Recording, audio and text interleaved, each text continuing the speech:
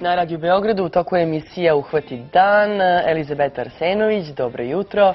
Dobro jutro Nataša, dobro jutro televizijskim gledalcima. Evo, uhvatili ste me u trenutku dok potpisujem peticiju za konvenciju Ujedinjenih nacija o pravima starijih. Gošće u studiju Radio Beograda jedan Nataša Todorović, psiholog iz Crvenog krsta Srbije. Pošli smo u susret današnjoj tribini Crvenog krsta Srbije u 13 časova u Siminoj ovde u Beogradu, gde će upravo jedna od tema, i to među važnim temama, biti najava potpisivanja peticije za konvenciju Ujedinjenih nacija o pravima starih. Povod za sve to jučerašnji međunarodni dan borbe protiv nasilja nad starima.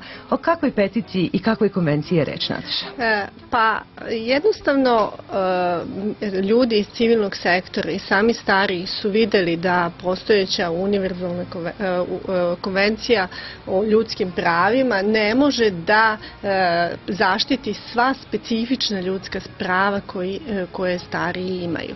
Tako da od 2010. postoji globalna kampanja za donošenje nove konvencije Ujedinjenih nacija o pravima starijih i praktično Srbija se uključila od 2010. 15. juna u 40 zemalja širom sveta postoji taj, da kažem, akcija potpisivanja peticije za novu konvenciju Ujedinjenih nacija, koja broj starijih koji su potpisali tu peticiju biće objavljen 30 avgusta u Njujorku. Ali na... da ne, Nataša nije valjda da samo stariji potpisuju peticiju? Ne, ne, ne. Pe, ne, ne. u Srbiji je 1981 osoba potpisala peticiju i ne samo stariji, nego i, i mladi. Znači, nije važno koliko, koliko imate godina, važno je da zagovarate poboljšanje položaja starijih i poštovanje njihovih ljudskih Mislite prava. li da se nešto promenilo u poslednjih nekoliko godina što se tiče prednosti znači naših odnosa prema starima? Generalno jeste, priča se mnogo više, priča se o uslugama, pri, prosto generalno jeste i u Srbiji, a i na globalnom nivou.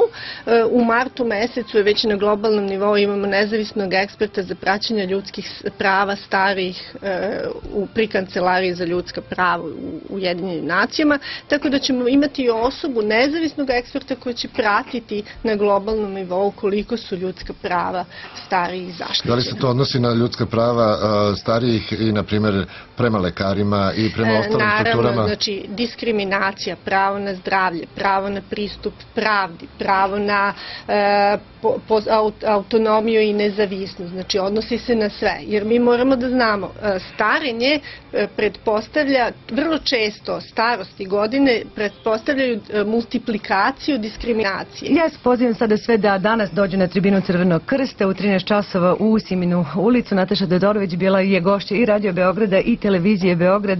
Nama slede vesti u 8. Televiziji Dnevnik, zar ne Nataša? Počinje jutarnji, vidimo se. Vidimo. E, jutarnji dnevnik